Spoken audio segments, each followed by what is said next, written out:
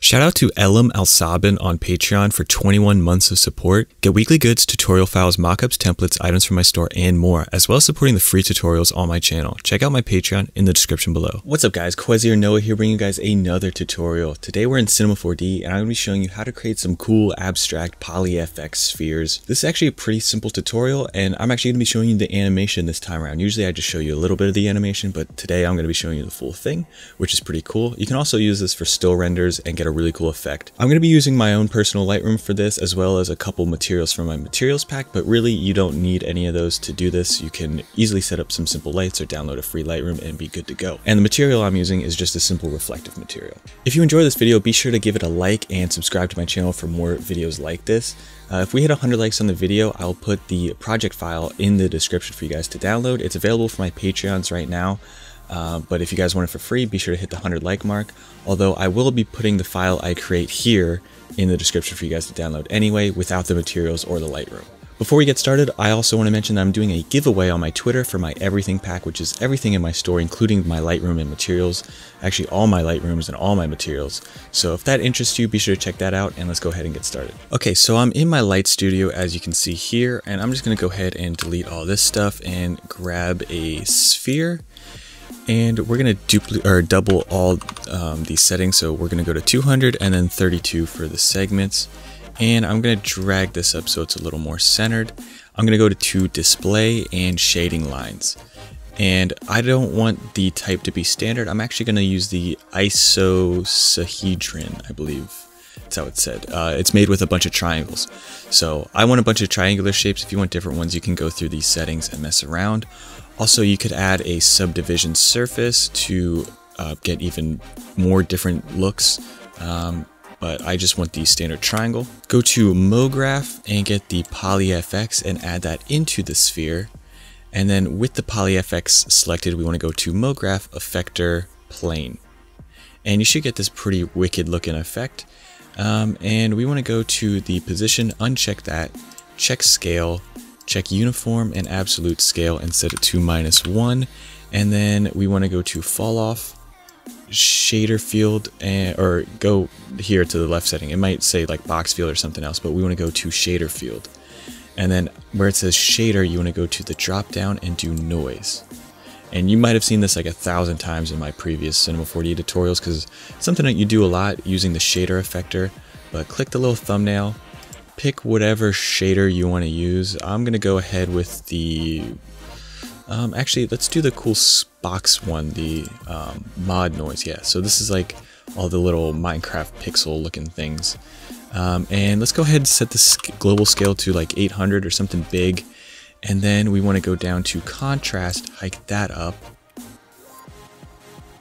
And I'm going to hike it up pretty far. Maybe we even increase the low clip, decrease the high clip. So you want some gaps and you want some full parts. So something like this works. You can also just mess around with different noises and different settings and you can always come back to this later on. So uh, feel free to set it to whatever you want. I'm going to bring my sphere to the top real fast. And on that shader field, uh, I forgot to mention, we want to add some animation stuff. So animation speed, I want to be 1, and then loop period could be whatever. I'm going to set mine to 10. That should be fine. And that should animate. Um, and as you can see, it won't because I forgot to go to plain and check frame. And now it will animate. So I want to jack up my frames to maybe like 200 or let's do 21 um, 210 that is. And that should be seven seconds long. And we have a little animation going on.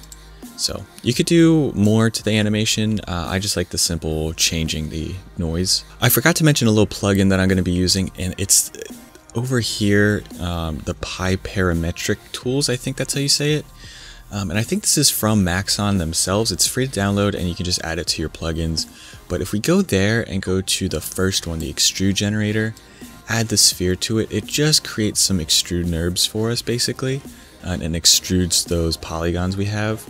And if we go to that and set the offset to negative 10, they will go inwards. And then if we create a cap, it's now capped off and we now have a more three-dimensional shape to all of that. And I use negative 10, you could use whatever number you want, um, probably in the negatives though, because you want it to go inwards towards the center of the sphere. Now we want to go to the cloner and we want to duplicate this in on itself. So add that to the cloner, set the count to about 20, leave it at linear, and then come to your Y and make sure that's zero. So you actually won't be able to tell there's any copies of this, but with the cloner selected, if you go to MoGraph, Effector, Step, and then you can see this duplicates outwards. Again, we want it to go inwards, so go to parameter and go to like minus 0.3 or some negative number. And you can see it goes inwards like that, and that looks really cool in my opinion. Uh, but I also want to add a little bit of a rotation. So if we check rotation, I did 10 as like a basis for mine, and you can see you get a little rotation. But you could crank this up, like maybe we go to 40 and you get that. So you can get some different interesting looks by doing that. Um, and it becomes more spherical and hides the gaps less. I like it to be around 10 um, because it's a subtle rotation, but it kind of works um, as the same shape. Uh, as you can see without the lines, that's what it looks like. Now, you might notice that right here, the shapes start to blend in. If you don't like that, you could add a bevel to the um, generator there. So add a bevel. Uh, but that really slows everything down and also I don't think it's worth the look. Um, but if you're doing a still, it might be worth it. Once we're happy with that shape, we want to select all those elements and go to Alt G um, or Alt G to put it into a null and then copy and paste it with Command C, Command V. Go to um, this duplicated one, hide the step and the cloner, go to the extrude generator and make that um, positive something. So I'll do 20 and you can see that will extrude it out. Um, now it looks a little wonky because it's still the same shape, but if we go to the shader and go in there and increase the brightness to make those shapes a little smaller, you can see we get littler shapes on top of the bigger ones, which creates like kind of a greeble effect. But I think it looks really cool. As you can see, this is what we have.